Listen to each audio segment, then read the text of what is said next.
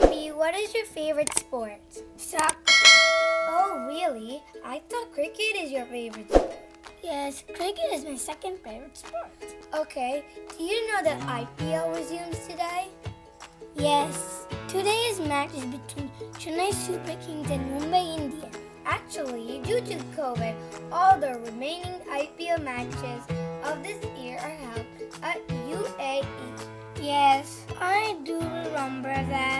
Which is your favorite team? Chennai Super Kings. Why? Because it has my favorite player, Sam. Yes, it is my favorite team too. Do you know that the very first match of IPL is between Kolkata Knight Riders and Royal Challengers Bangalore on 18 April 2008 at M. Chinnaswamy Stadium, Bangalore? Who won that match?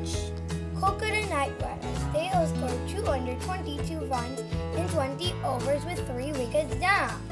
Oh my goodness! 222 runs? Hmm, that's a lot to chase down. Yes, Brendon McCullum of Kolkata Knight Riders alone scored 158 runs in 73 balls with 10 fours and 13 sixes without getting out.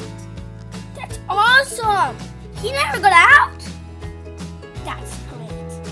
I think he's one of the great wicketkeeper batsmen from New Zealand. Yes, that is correct.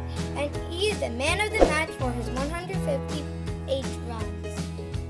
In the same way, USA wicketkeeper Jaskar Malhotra scored 173 runs from 124 balls with 16 sixes. Yes, he scored 36 runs from an over by hitting all six balls to six, and he is the fourth man to do so one day. International cricket. In one over? Okay, let's talk about him more on another video. Sure. Thanks for watching this video. Please, Please like, share, and subscribe to our channel.